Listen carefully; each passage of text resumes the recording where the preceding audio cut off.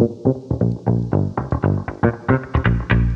we're here with Mike Fissel. He's a brand ambassador with Midland, and they've got some great antennas. Mike, why don't you tell us what it's about? Well, up until now, your choices for antennas for GMRS have been very limited. Midland has come out with the best antennas that you can buy anywhere, and they're exclusive to Midland. Okay. The first one is probably the best antenna I've ever used.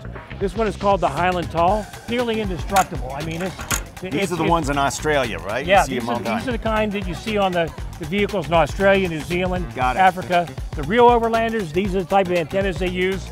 You can mount it on a bull bar, you can mount it directly to your bumper, you can put it front or rear. These are great antennas. We've got two other type antennas that are bull bar. We've okay. got a medium duty and another heavy duty. Great. These are both three decibel gain antennas. The last antenna is called the Grand Vista. This is going to be a game changer for people that have Jeeps. It's got a massive 7.5 decibel gain. Wow. Uh, really long distance antenna. The best antenna for a Jeep that uh, you can buy. Great, and they're all available now? They're all available now. All righty. Mike, thanks for your time. Yep, sir. Alrighty, bye. Thanks.